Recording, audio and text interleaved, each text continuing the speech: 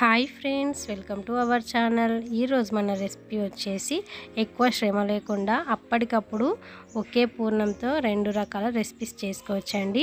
Video అయితే ఎక్కడ skip చేయకుండా ఎండ్ వరకు చూడండి. ఫ్రెండ్స్ వీడియోలకి వెళ్ళే ముందు నాదో చిన్న రిక్వెస్ట్ అండి. ప్లీజ్ ప్లీజ్ ప్లీజ్ ఈ వీడియోకి లైక్ చేయండి అబ్బా.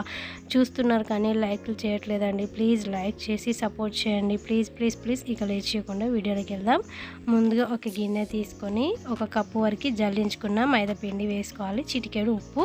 ఒక టేబుల్ స్పూన్ వరకు నెయ్యి వేసుకొని చక్కగా కలిసేలా కలుపుకోవాలి.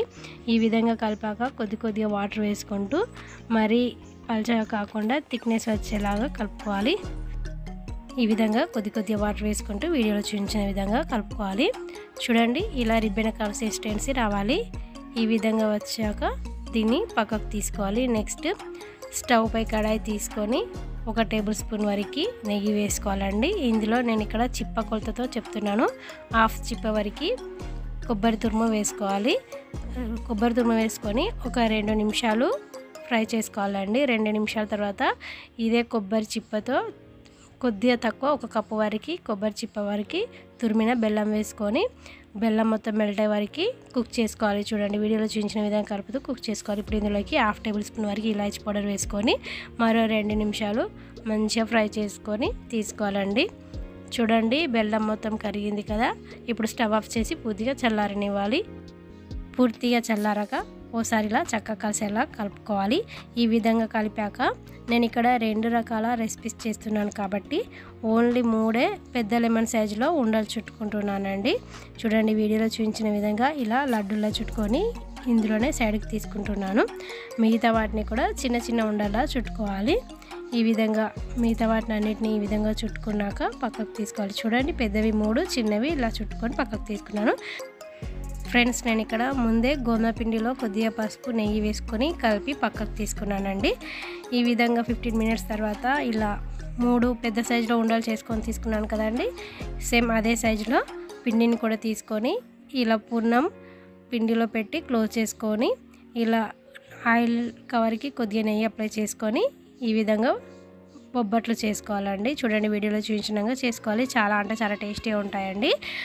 పండుగలప్పుడు ఈ విధంగా చేసుకున్నారంటే ఫటాఫట్గా అయిపోతుంది. చాలా సింపుల్గా టేస్టీగా సూపర్గా ఉంటాయి. చేసుకోవడం కూడా చాలా ఈజీ తక్కువ టైం పడుతుందండి. చూడండి ఈ విధంగా చేసుకొని పక్కకు తీసుకోవాలి. మరో లడ్డును కూడా సేమ్ ఇదే విధంగా లడ్డూలా చేసుకొని చూడండి ఇలా స్ప్రెడ్ చేసుకొని ఇందులోకి పూర్ణం తీసుకొని ఈ విధంగా క్లోజ్ చేసి పక్కకు తీసుకోవాలి. ఇప్పుడు స్టవ్పై ప్యాన్ తీసుకొని బాగా హీట్ చేసుకొని మనం ముందే చేసుకున్న బొబ్బట్టును వేసుకోవాలి. ఒకవైపుకి ఒక నిమిషం కాలాక మరోవైపుకి మరో నిమిషం కాల్చుకోవాలి. ఇలా అటు ఇటు కాల్చుకున్నాక దీని మీద ఒక టేబుల్ స్పూన్ వరకు నెయ్యిని వేసుకోవాలి. చూడండి నెయ్యి వేస్తుంటేనే పొంగుతున్నాయి కదా. మంచిగా నెయ్యి వేసుకొని ఈ విధంగా స్ప్రెడ్ చేస్తుంటే ఎలా పొంగుతున్నాయో చూడండి. ఈ విధంగా కాల్చాలంటే ప్రతి ఒక్క బొబ్బట్టు భలే పొంగుతూ పూరిల్లా పొంగుతూ వస్తాయండి. మనం ఎప్పుడు తిన్నా కానీ మెత్తగా ఉంటాయి. టేస్ట్ కూడా సూపర్గా ఉంటుందండి ఈసారి ఖచ్చితంగా ఒకసారి ట్రై చేయండి. పప్పులు ఉడకబెట్టే పని లేకుండా అప్పటికప్పుడు పది నిమిషాల్లో ఇలా బొబ్బర్లు చేసుకోవచ్చు. అండ్ ఇదే పిండితో పూర్ణాలు కూడా చేసుకోవచ్చు. చూడండి ఎంత చక్కగా పొంగాయో. ఈ విధంగా చక్కగా పొంగి అన్ని వైపులా మంచిగా కాల్చుకొని ఒక ప్లేట్లోకి తీసుకోవాలి. నేను మరొకటి కూడా బొబ్బట్టు చేసి చూపిస్తున్నాను చూడండి. ఈ ఆయిల్ కవర్కి నెయ్యిని అప్లై చేసుకొని ఈ విధంగా చేసుకోవాలి. పల్చగా చేసుకుంటేనే మంచిగా పొంగుతూ సాఫ్ట్గా ఉంటాయండి. చూసారా ఎంత చక్కగా రిమూవ్ అయిపోయిందో? ఎలాంటి బటర్ పేపర్తో పని లేకుండా ఈ విధంగా ఆయిల్ కవర్ మీదనైనా చేసుకోవచ్చు లేదంటే అరిటాకు మీద కూడా కొద్దిగా నెయ్యిని అప్లై చేసుకొని చేసుకోవచ్చు. ఇలా ప్యాన్ మీద వేసుకొని రెండు వైపులా తిప్పుతూ కాల్చుకొని వన్ టేబుల్ స్పూన్ వరకు నెయ్యి వేసుకొని చక్కగా కాల్చుకుంటే ప్రతి ఒక్క బొబ్బట్టు భలే పొంగుతూ సాఫ్ట్గా వస్తాయండి. మిగతా వాటిని కూడా ఇదే విధంగా కాల్చుకొని ఒక ప్లేట్లోకి తీసుకొని పక్కకు తీసుకోవాలి. నెక్స్ట్ ఇక్కడ చూడండి మనం ముందే కలిపిన పిండి కూడా చక్కగా నానింది కదా. చూడండి ఎంత చక్కగా నానిందో. ఇప్పుడు ఇందులోకి ఒక ఉండను వేసుకొని చూడండి ఈ విధంగా డిప్ చేసుకొని ఆయిల్లో మెల్లిగా ఇలా డ్రాప్ చేయాలి. చూడండి నేను ఇక్కడ పిండిలో చూపిస్తున్నాను. ఈ విధంగా తీసుకొని ఈ విధంగా మెల్లిగా డ్రాప్ చేసుకోవాలి. సేమ్ ఆయిల్లో కూడా ఇదే విధంగా డ్రాప్ చేయాలండి. స్టవ్ పై కడాయి తీసుకొని ఫ్రైకి సరిపడా ఆయిల్ వేసుకొని బాగా హీట్ చేసుకొని మనం కలిపిన మైదా పిండిలో ఒక్కొక్క కొబ్బరి ఉండను వేసుకుంటూ ఇలా డిప్ చేసుకుంటూ ఆయిల్లో నెమ్మదిగా డ్రాప్ చేయాలండి.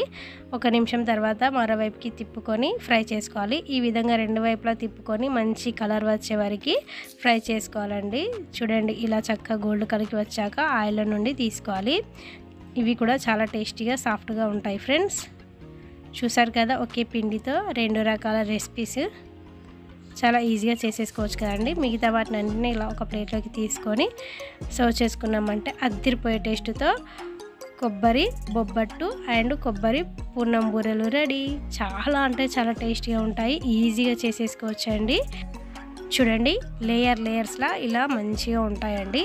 ఎప్పుడు తిన్నా కానీ మెత్తగా ఉంటాయి. టేస్ట్ కూడా అదిరిపోతుంది. పూర్ణం బూరె కూడా సాఫ్ట్గా స్మూత్గా భలే ఉంటాయండి. ఖచ్చితంగా ఈసారి మీరు కూడా ఇలా ట్రై చేసి మీకు ఎలా కుదిరిందో మీ ఒపీనియన్ కమెంట్ బాక్స్లో కామెంట్ చేయండి. ఈ వీడియోస్కి అయితే చాలా అంటే చాలా లైకులు ఎక్స్పెక్ట్ చేస్తున్నానండి. వ్యూస్ కూడా ఎక్స్పెక్ట్ చేస్తున్నాను. ప్లీజ్ సపోర్ట్ చేయండి.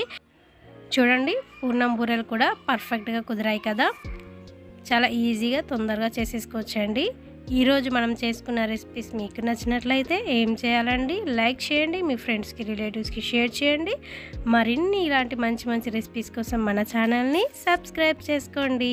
అలాగే పక్కనే ఉన్న బెల్ ఐకాన్ని క్లిక్ చేయండి. Please support me friends thank you for watching keep smiling and keep thinking bye